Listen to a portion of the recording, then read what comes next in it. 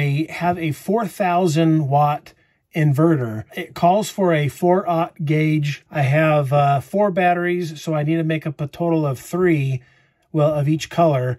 The red and the black came in 10 feet, and it came with a pack of 10. I've got to make this into this.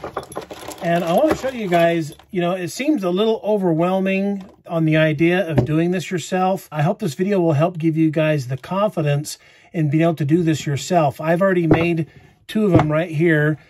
Is what you're going to need. I'm not going to be cutting all the way through. I'm just going to be using this pipe cutter to get my uh, straight line. I'm going to use the X-Acto knife to uh, help me cut through. And I'm going to be using a tape measure to make some measurements. The pin right here to make my mark. So I'm going to be charging and discharging equally and evenly through all four of my batteries. This is how I'm going to wire everything. Now, what's important to know is that all of your cables need to be exactly the same length. My furthest distance is from this A negative to the C negative, and the same, the D positive to the B positive. Now, I really only need, with the, the existing batteries I have right now, uh, I only need 14 inches from here to there. However, I'm sure someday I'll have to replace the batteries. I don't want to have to go back and make these longer if I get larger batteries. So I'm going to go ahead and just make these 18 inches from here to there. That way I got a little bit of play uh, as well. And then if I get bigger batteries, I can go ahead and still reach. First thing I'm going to do, I've got three quarters of an inch that's going to fit inside here. I've already measured that out. I'm going to go ahead and make my mark. Do three quarters of an inch. And I'm measuring from uh, the copper, not the uh, uh, the insulation. I'm going to open this up here. This blade is used for cutting steel pipe, uh, EMT. That's what this is what I used to cut my uh, ground mount, my solar panel ground mount. I'm going to stick this blade right on my marking. I'm going to tighten up. And as I mentioned, I'm not going to use this tight to cut this, obviously. I'm just using it to get my straight line. That's as tight as I want to go.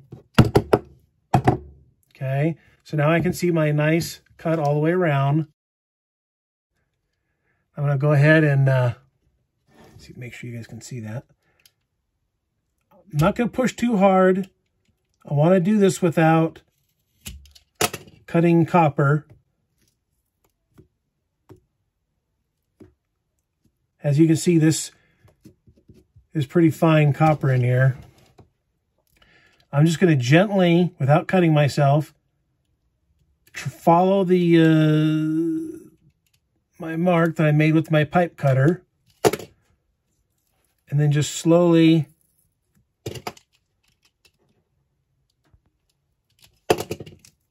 pull and tear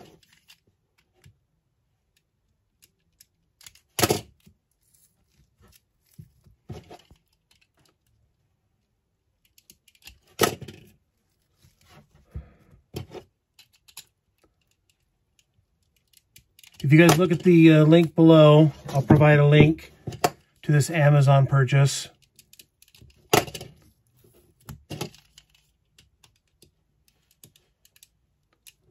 It's nice just following my little trace mark from my pipe cutter.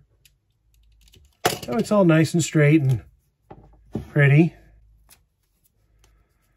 Just gonna tear off some of this paper. Okay, I've got a little bit of uh, insulation on here. Whoops. If you guys can see that. I'm just going to gently run my X-Acto knife just so I can get that insulation off. Just want to make this look nice and pretty for you viewers there. And then the paper, whatever doesn't peel off, I'm just going to tuck down with my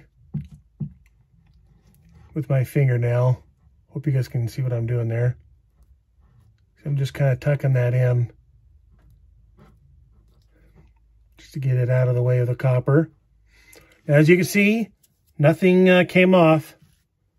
I didn't cut any of the copper. This is just going to barely fit on here. A little twist. Voila, look at that. Perfect. So good, I probably don't even really need to uh, heat this on, but I will anyway. Okay, so my next step is to go ahead and clamp it on. Here's what I've got. By the way, these are the uh, the cutters that I used. Got these on Amazon too. I can provide a link for that. Uh, it didn't cost very much. And here's my uh, crimper uh, for the uh, 4-aught. It's helpful to have a, a, second pair of hands. I'm going to have my son come in here, and he, I'm going to have him hold this. Got it? Yep.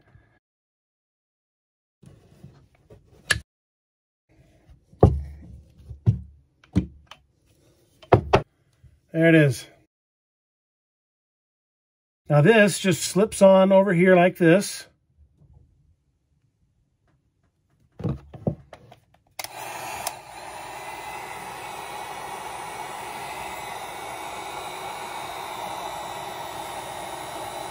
You want to just kind of evenly rotate.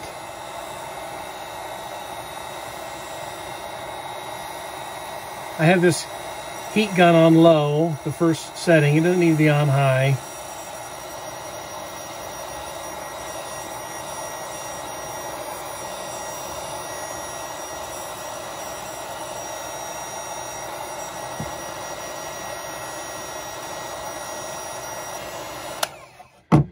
Now, the inside of these have a glue in there. You can probably kind of see a little bit of a shine. And uh, now looks all nice and pretty. I thought it looked pretty good. I had it nice and square thanks to the pipe cutter. You can have a little confidence in yourself in doing this. It's not as hard or as difficult as you might think. If you have any questions, uh, I do come on here quite often to uh, look for comments, to answer any questions you guys have with my other videos. Thank you for watching. Uh, see you guys in my next video.